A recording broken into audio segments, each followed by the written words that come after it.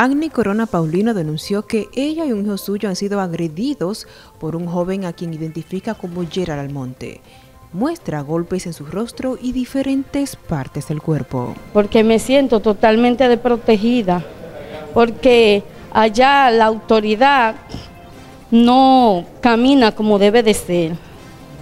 En este caso que me ha pasado, que fue que Gerald Monte, hijo de Margot, un atracador, que es ladrón, que vive robando y haciendo diferente daño en el barrio y maltratando a todos los débiles, agarró y maltrató a mi hijo de tal manera que también lo tuvo a matar. Luego al otro día yo le reclamé que porque él me dio y por esa razón que porque él le dio a mi hijo, porque en el barrio me lo habían dicho, porque yo tenía dos días operada en mi casa, a mí nadie me lo dijo. Mi hijo tiene 22 años. Pero entonces, él lo que me contestó que él hasta a mí me daba.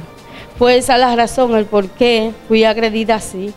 Y fue cuando me trayó y me golpeaba de esta manera tan brutal, que gracias a los vecinos y a un vecino que le llaman Milito, hoy yo puedo estar aquí y estar hablando asegura las autoridades judiciales no han cumplido con su rol tras dejar en libertad a quien señala como su agresor.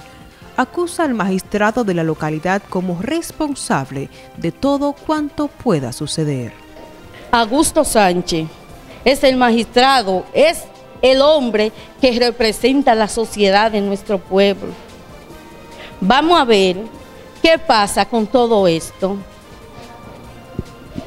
¿Tú crees que un, un verdugo que me maltrate así de esta manera puede estar suelto después que la policía hizo su trabajo, lo apresó y lo llevó allá. ¿Qué hizo nuestro gran representante del pueblo que fue y lo soltó?